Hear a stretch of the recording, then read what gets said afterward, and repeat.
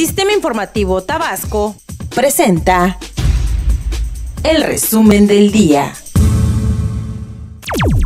Con la participación de diversas instituciones de seguridad, vialidad, salud y protección civil de los tres niveles de gobierno, este lunes se dio el banderazo de arranque al Operativo Especial de Seguridad Semana Santa 2022, que incluye acciones de prevención de accidentes en las vías carreteras, orientación y concientización ciudadana.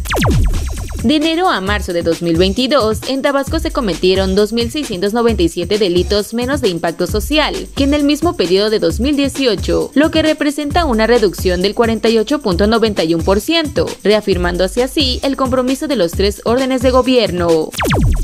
En el avance de sus 1.500 kilómetros de ruta, el tren Maya ha generado 105.000 empleos en el sureste de México y en las últimas semanas se reforzó con la llegada de elementos del ejército mexicano para el inicio de los trabajos en los tramos 6 y 7.